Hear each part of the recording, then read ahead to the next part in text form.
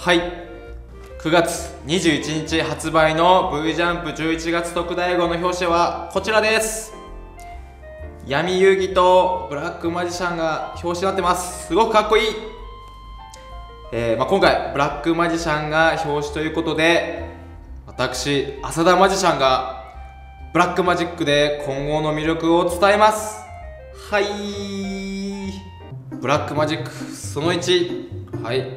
ここに普通のトランプがあります。こここれからですね。このトランプの中から V ジャンプの付録カードを召喚してみせます。ちょ今からこのトランプを切るのでいいと思った時にストップと言ってください。いきますよ。でストップと言ってその一番上になったカードが V ジャンプの付録カードになってます。いきます。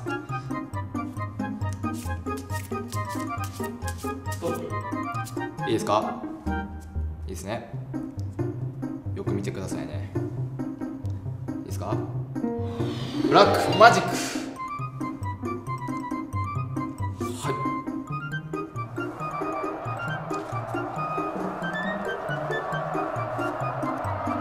はい。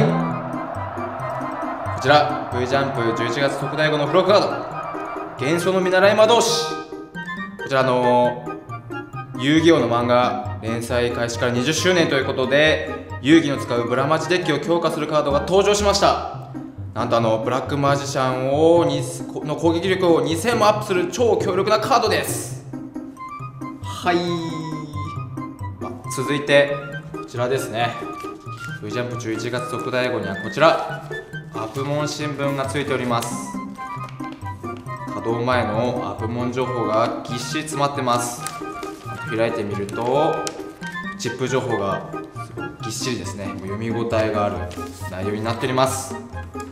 はい。ここでブラックマジックその2今何もなかった新聞からアプモンチップとアプモンのカードを出してみせます。よく見ててください。何もなかったこの新聞を一度しまいます。ブラックマジックると何もなかったアプモン新聞から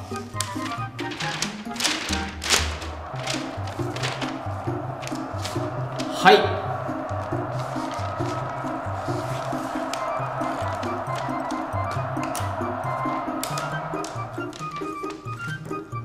アプモンチップとアプモンカードが出てきました。稼働前から付録をゲットしてスタートダッシュを決めようぜ。はい。続いてブラックマジックその3次はですねこの何も変哲のない帽子からですね付録カードを出してみせます。ブラックマジックはい。まずは1枚目。極ブラックこれは今月稼働今月稼働の第10弾のスーパーサイヤ人ロゼ。状態の悟空ブラックです。これは必ずゲットせよ。はい続きまして。なんと配給ババコから日向牛島。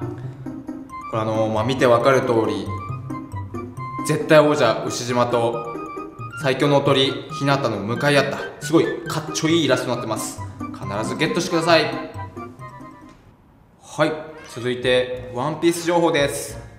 V ジャンプ11月特大号と同日発売のワンピース大海賊コロシアムを大特集してます。見てわかる通り画面の中に悟空とルフィが、まあ、今回史上初の試みとなるシステムの情報もがっつり掲載してますのでお見逃しなく。さらに最強を決める大会プロジェクトも始動中です。よく読んでください。同じく同日発売の V ジャンプックス大海賊コロシアムの V ジャンプックスも見逃すなよ。はい続いて大好評稼働中のドラゴンクエストモンスターバトルスキャナーからはこれ見せられないんですが君の前に立ちは塞がるあの男やあの魔王の情報に注目してください。これは見せられないのが非常に残念です。さらにさらに第3章の全チケットリストもチェックしましょう。はい続きまして漫画紹介。なんと今後のですね「ドラゴンボールスーパー」がこちら。見てわかりますか？未来トランクスとダーブラが激突してます。これはもう超熱いバトルとなってますので絶対見逃さないでください。続いて先ほどアプモン情報を紹介しましたがなんとアニメスタートに先駆けて新連載アプモンの漫画が始まってますのでぜひ注目。ちなみはい。V ジャンプ。11月特大号は9月21日発売です。みんな買ってくれよな。そしてこの後はドラゴン浅田の俺はゲーム0年生。このまま見てね。ドラゴン浅田の俺はゲーム0年生。今回もみんなからのアドバイスでスプラトゥーンの腕を上げまくるぜ。前回はローラーでやってみたけど今回はスプラシューターコラボで遊んでみるぜ。前回あの唐辛子で闘魂注入して頑張ったんですけど、まあ、その成果を見せられるかと、まあ、武器を変えても発揮できるんじゃないかと。さあ始まりました。今回はもう活躍できるようにガンガン攻めていきたいと思います。前なんとかだぜ。ガンガン攻めていこうと思うぜ。ほらほらほらほらよいしょ。もうなんかもうこれ勝てそうな気がするな。で周りが強そう。どうやって上に行くんだこれもう。登れないぞ。上に行けない。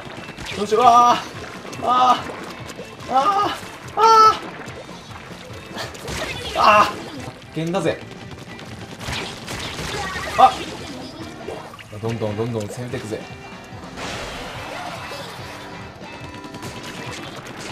うわあ倒せるかこれ。ああ相手どこだ？いた。お倒したんじゃないか？これ。どうやったら上に行けるんだぜあ敵発見だぜ。ああ打ち負けたぜ、まあ、自分のチームは勝ったけどビジだぜ。しかも5回倒されてるぜ。ちょっとこれ不甲斐ない。きっと疲れてるんだ。だから今回はこのレモンをかじってクエン酸を摂取して疲れをぶっ飛ばしてやるぜ。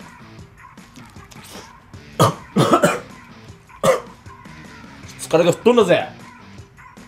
早く相手を見つけて倒したいぜ。おちょっと敵見つけたぜ。もうどんどん塗りつぶしていくしかない。おっしゃー。あおおなんだ。うわどんどんどんどん前に行ってやるぜ。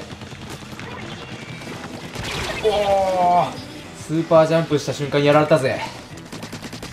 やばい。あ相手と向き合うとちょっと負けちまうぜ。ああうわ危ない。うわどうしても後ろに回り込まれちまうぜ。これギリギリ惨敗だぜ。やられた数が6回もやられてるぜ。これは不甲斐ない。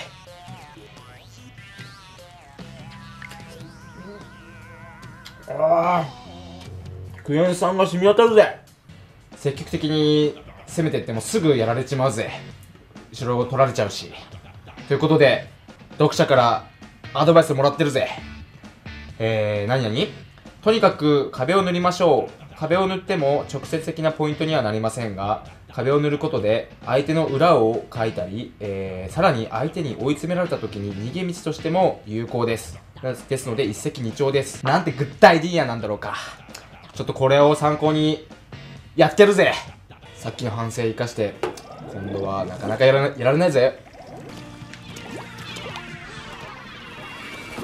あまずいぜ。またちょっと控えめにスーパージャンプするぜ。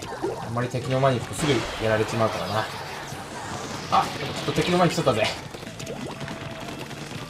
ああ4回もやられちまったぜ。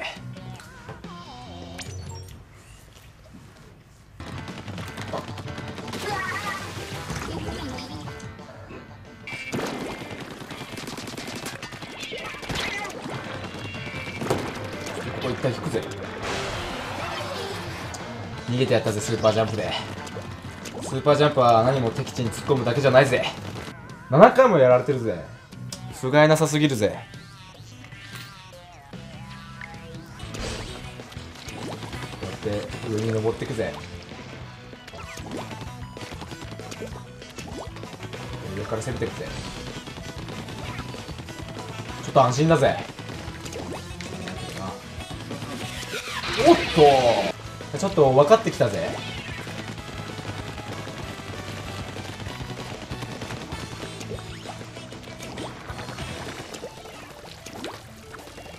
上からボム投げてやるぜ。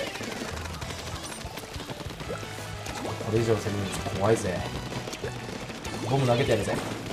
床だ床以外も塗るのも大事だなと思ったぜ。はい。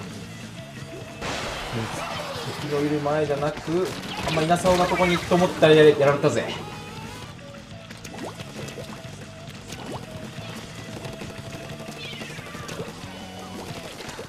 あと移動がスムーズになったぜ。壁以外を塗る壁以外。地面以外も塗ることによって移動がスムーズになったぜ。勝ったぜ。まあまあ思ったより良かったぜ。だから今回はクエン酸注入はなしだぜ。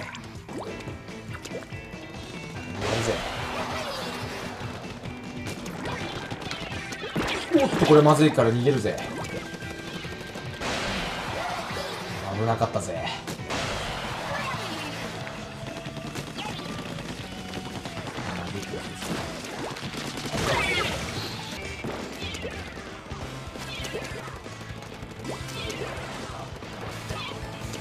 行くぜ早すぎたか。これは逃げる。ああでもさっきよりはやられた数が減って一人倒してやったぜ。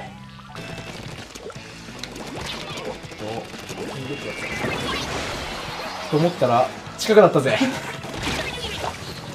焦っちゃって近くに押した押しちゃったぜ。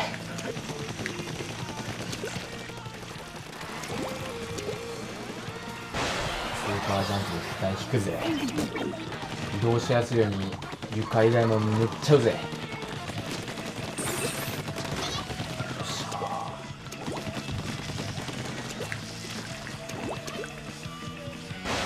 旦ここはスーパージャンプで引くぜ。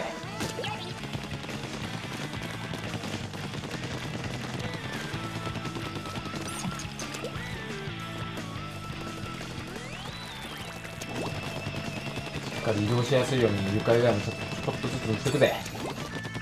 こういう時敵が来た時にすぐ逃げられるし奇襲もつけるぜ。おーありがとう。おー。一旦引くぜここは。上から奇襲してやるぜ。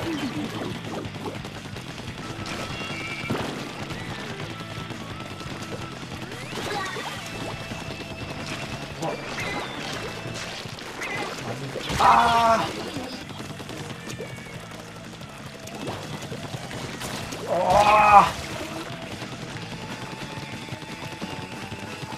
ー。いけるか。これも稼ぎ稼ぎ稼ぎたい。ああいけるかおお勝ったぜ。結構僅差だぜ。まあまあさっきよりやられた数減ってなんと相手を4回も倒してやったぜ。みんなのおかげでまたゲームのレベルが上がった気がするぜ。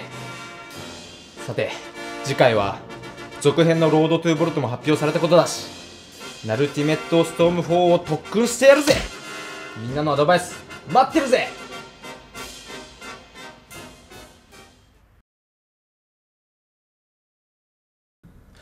おっ俺 V ジャンプのドラゴン浅田だぜ、えー、ご視聴ありがとうな。V ジャンプチャンネル登録のみんなはこちらのボタンでよろしくね。そしてスマホの方はこちらでよろしくね。